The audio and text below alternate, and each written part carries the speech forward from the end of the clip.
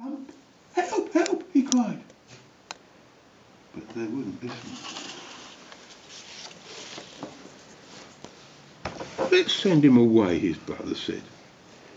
Then he will be gone for good.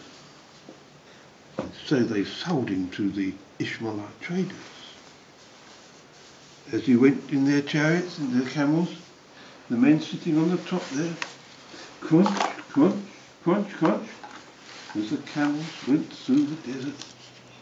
And they took Joseph away to Egypt.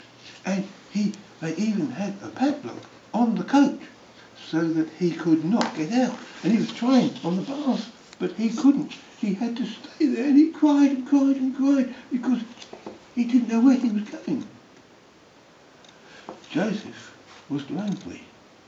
He wanted to go home. God had a special job for him.